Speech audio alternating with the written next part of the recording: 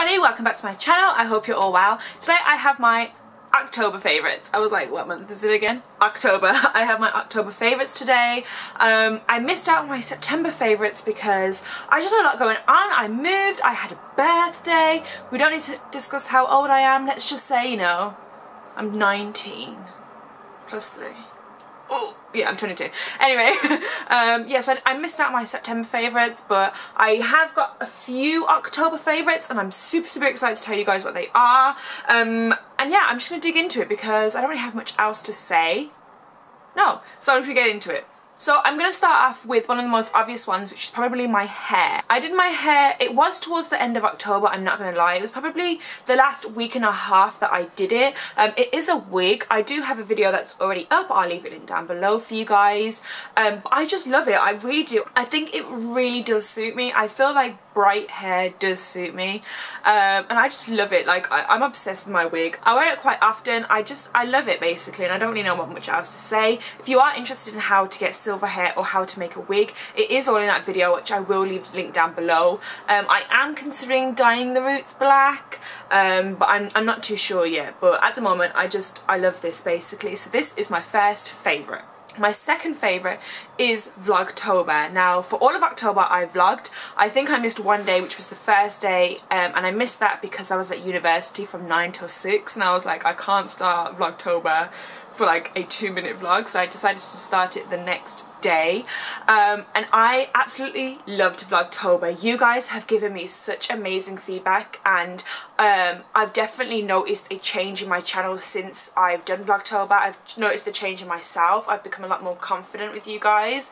Um, I've become a lot more confident out in public, vlogging, like you know like hey I can do that now. Um, I've noticed a change in how many subscribers I'm getting, how many people are following me on like Twitter, Instagram and Snapchat. I always leave them linked down below if you are interested and you're not following me on anything. Um, I'm not trying to plug myself.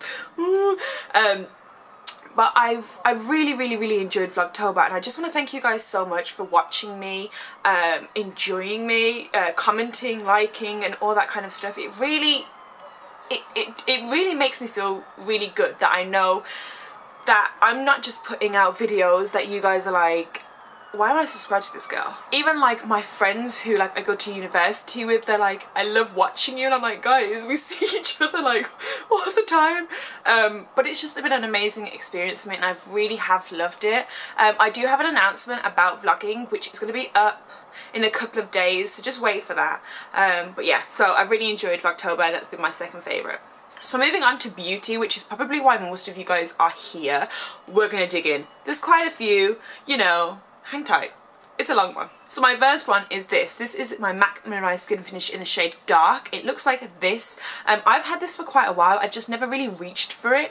Um, I don't use it to bronze my face with. Um, I don't feel like it gives off a good bronze, um, but I do use it to contour and I absolutely love the way it contours me. This powder has the ability to um, make you go from a subtle contour to a very deep contour um, and I absolutely love this. It's perfect as well for my nose contour. My nose contour, I'm not going to lie to you guys, my nose contour has been on fleek. Like, you guys can't tell what my nose looks like and don't try and lie and say yes you can because you can't. It's because of this powder. I am just, I love it. I honest to God love it. I think it's an amazing powder. Obviously it is a bit expensive because it's MAC, but if you guys are starting off a little MAC um, collection or if you guys want to start looking at things to get from MAC, I would suggest one of these.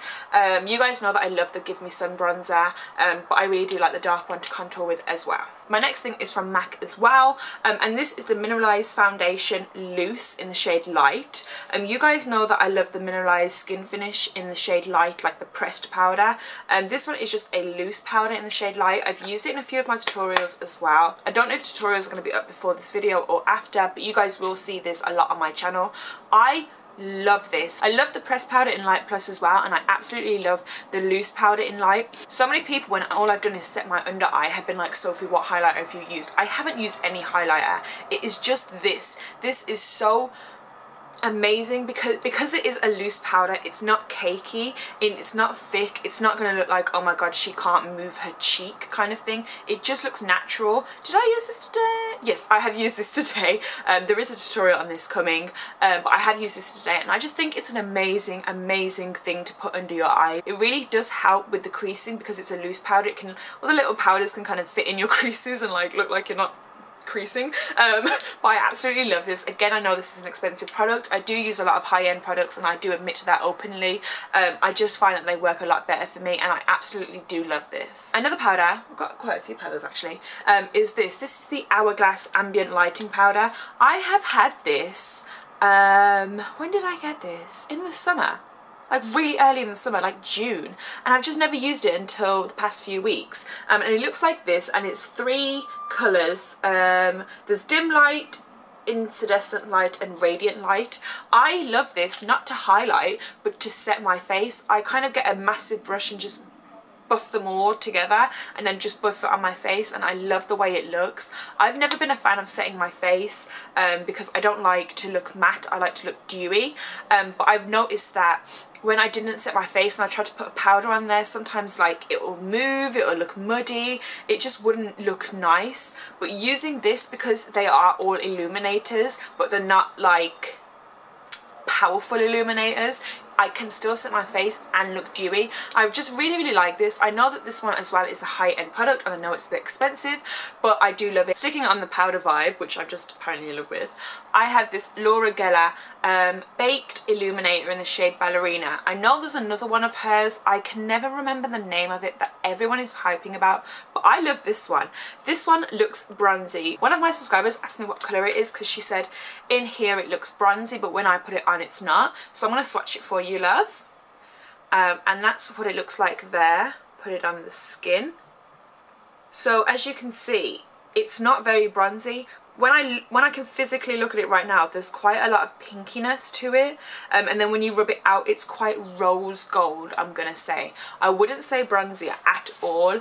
Um, it is quite rosy gold. And, and, when I look in the pan as well it does look rose gold. Um, so that's what colour it is I absolutely love the way this looks on my cheeks. I have it on today and I've used it a lot in my other tutorials as well. Like I said, I don't know when they're going to be up, so bear with me. Um, but I absolutely love the way that this looks. It's so powerful with such a small amount and I just, I love the way it looks basically. It makes me look like I can glow from here and when you're up in NASA in space and shit, you can still see me. Like, why wouldn't I love that, right? And then the final powder that I have, I still have more because it's just less powder, is the Kevyn Aucoin. I know Kevyn Aucoin is really expensive. I'm really sorry again, but I absolutely love this. So this is the matte bronzing veil in the shade Desert Nights. Now, I used this on a whim one day and I was just like, oh, let me just try it. I love this bronzer. This bronzer is orange toned, which is going to make you look bronzed. When you're using bronzer, you want an orange or a red toned. It's going to make you look bronzed. When you want a contour, you want a cool tone because that's going to make you look contoured. Anyway, this is incredible. It's not too orangey, it's not too red, and it's just perfect. I honest to God love this. Like, I don't, oh, it's just so it's one of those bronzes that you can make look subtle but if you want to pile it on and look bronze then you can I have used this again today and I have used it in other tutorials and I love the way it looks it's just a nice nice nice bronzer now I will openly say that I do think there are ones that you can get cheaper. The MAC Give Me Sun one. There are probably ones in the drugstore. The Collection 2001 in the shade what shade are you? I'm sure it's tan. It's either tan or bronze, something like that.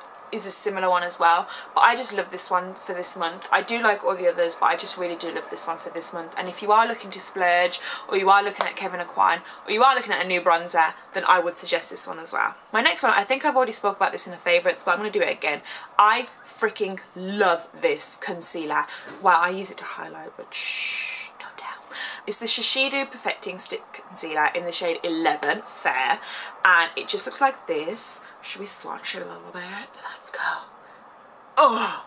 Now, now when I first got this, I think I've mentioned this before, I was too scared to use it. I was like, there's how no way that that's going on my face. That is too bloody bright.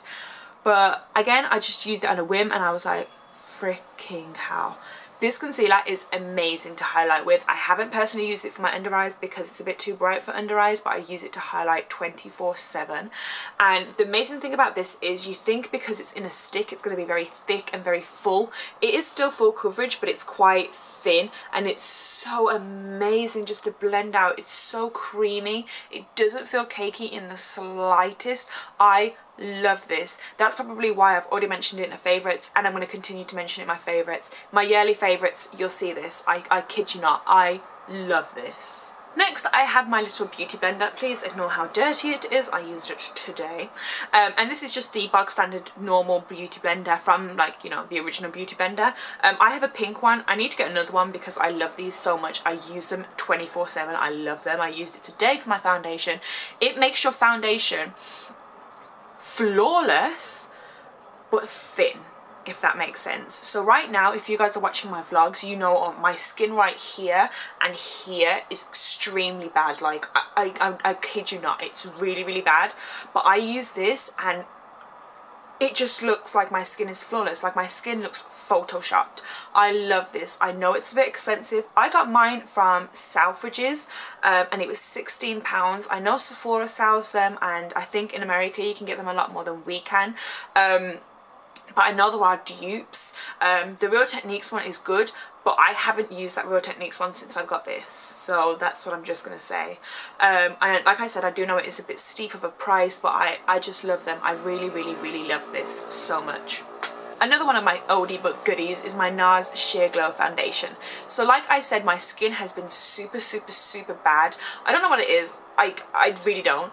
Um, but I've been using my NARS Sheer Glow Foundation non-stop because whenever my skin gets bad or if I get a breakout, I stop what I'm using and I always go back to my NARS Sheer Glow.